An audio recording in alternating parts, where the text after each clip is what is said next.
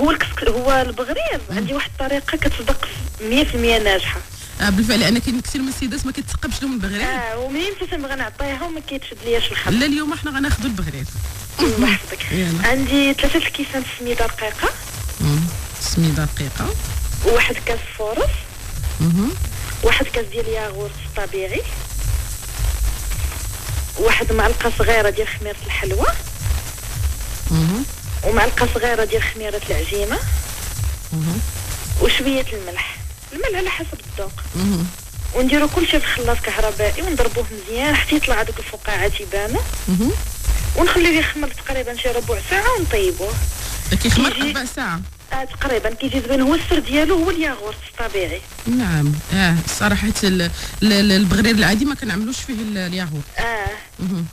هو السر ديالو هو الياغورت وتنطيبوه وكيجي كيجي زوين بزاف. اللي كلاه عندي كيعجبو تيقول لي عطيني الطريقة. إذا هند ردي بالك راه المستمعات ديالنا تبارك الله عليهم راه حاد قالت اللي كيكونوا معنا في الصفحه ديالنا في الفيسبوك يعني راه آه. غير يجربوه إلا ما صدقش راه يكتب لك ما صدقش. لا لا لا إن شاء الله يصدق. أنا شاء الله. اللي ليه وجربوه في العائلة تيصدق والله. لا حنا الفقرة أصلا شهوات مجربه ولديده مع كل المستمعين إلا وكتعطيونا وصفات اللي نتوما سبق لكم وجربتوها وبغيتو تشاركوها مع خواتاتكم المستمعات. هذاك الشيء أنا مجرباه ديما.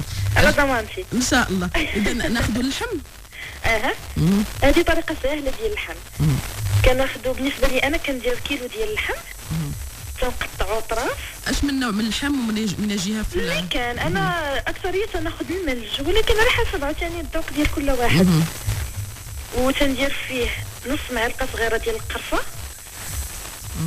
وكندير فيه معلقة صغيرة ديال السودانية. وشوية الملح. وكندير كاس الماء وكنصد عليه في الكوكوط.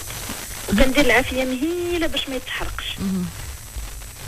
صافي ومني تنحطو كيجي بحال اللحم المشوي اللي تيتقدم في العراس. وكتسدي الكوكوط شحال ديال الوقت؟